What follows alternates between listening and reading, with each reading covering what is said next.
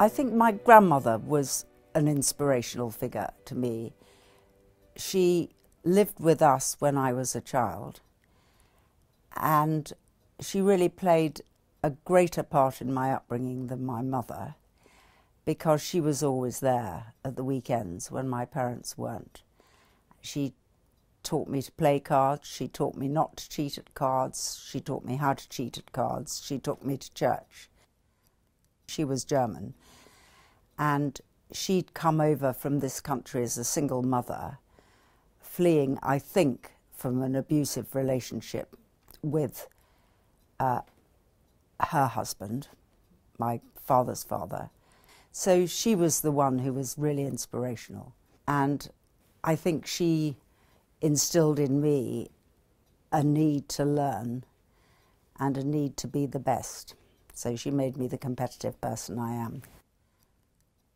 I think my determination was really driven by being adopted because that always meant you had a will to succeed and a determination to do better than the next person. I mean, if you were an adopted child in the late 40s, it was because you came from a single parent family, illegitimate child whose mother gave you away because you couldn't go on working. I don't know, I've never bothered to find out, but it was very important to me.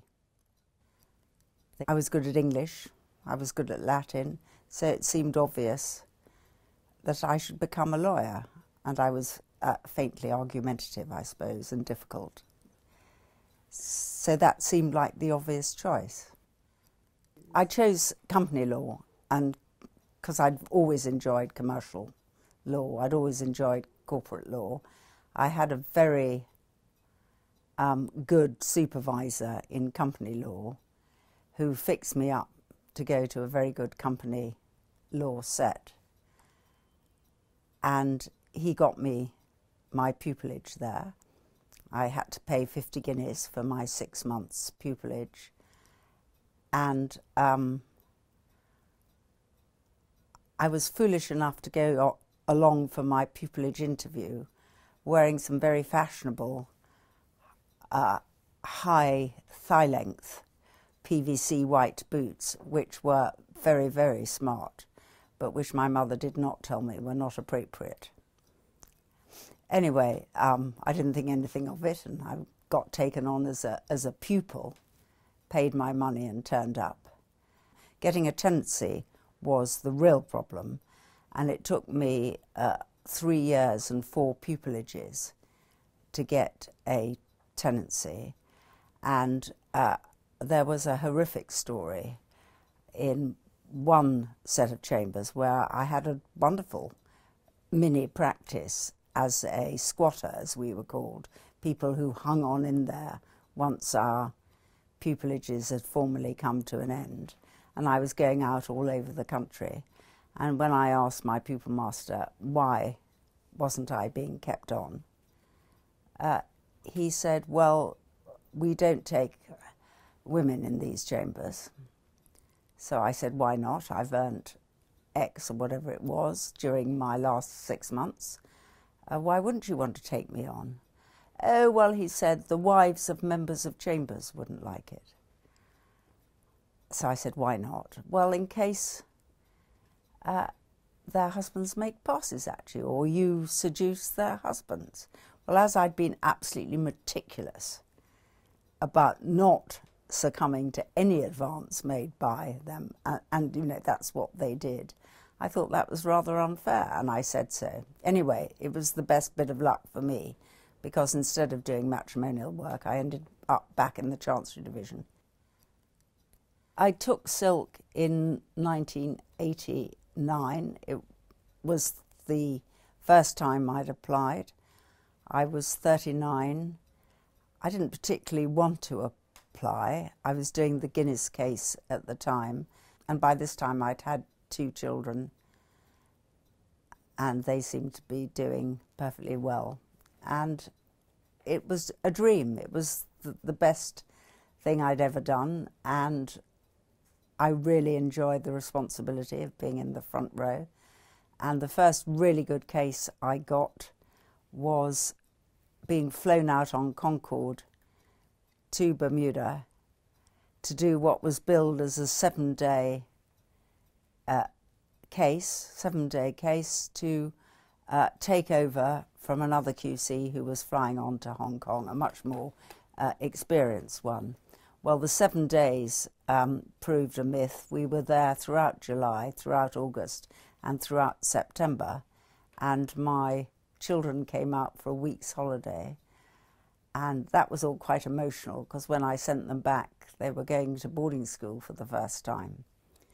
And so I cried my eyes out at the airport when their little brown faces waved goodbye, but they simply, they didn't care. They simply said, don't be weird, mummy. We've had a lovely 10 days in Bermuda. Uh, see, see you at Christmas. And I don't think they minded much. I don't think I've ever managed to get my work-life balance right. I think that you have to be clear in your own mind whether the bar comes first or whether your children come first. I don't think in a demanding profession like being a QC, you can say, well, I'm always going to put my children first. Obviously, if they're ill, that's something else. But the amount of uh, rugger matches and school plays I missed because of my work was legion. And, but that's just one of the prices you pay, and I don't think my children suffered any more. But I think women do have to be prepared to delegate childcare because, and they have to be prepared to spend money on childcare. And um, a lot of my overdraft racked up because of the need to do that.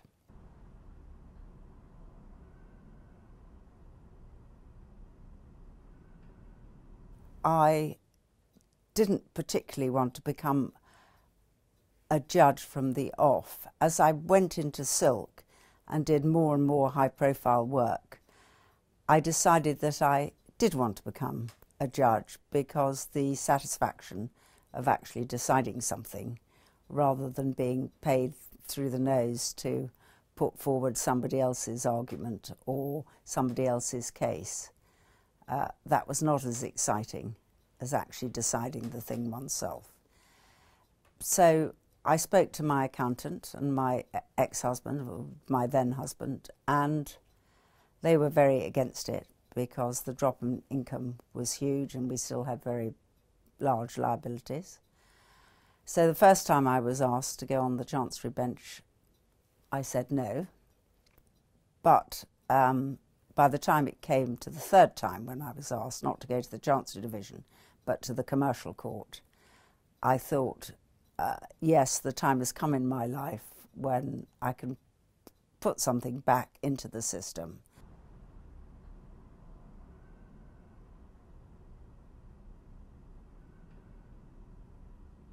There just isn't an issue, certainly in commercial work, which I do, about employing a woman as a barrister or as a solicitor.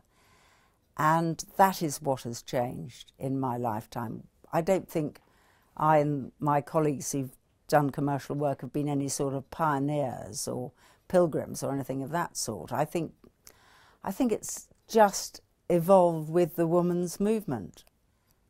Certainly in the judicial profession, there is no discrimination against women. That, that's my view from my perspective. I don't really believe in glass ceilings. I've never felt any hostility in my preferment or lack of preferment because I was a woman. I, okay, I was the first uh, woman judge to be appointed to the commercial court, and I was therefore the first woman judge who was head of the commercial court. I think there may be, perhaps, or there might have been then, an idea that women were family lawyers or criminal lawyers, but couldn't be trusted with the tough commercial stuff. So I was very pleased, if I was breaking a glass ceiling, to demonstrate, as indeed is the case, that there are loads of commercial solicitors um, throughout the city of London and solicitors and barristers and we can do the job just as well, if not better, than the men. I mean, it's, it just depends on you.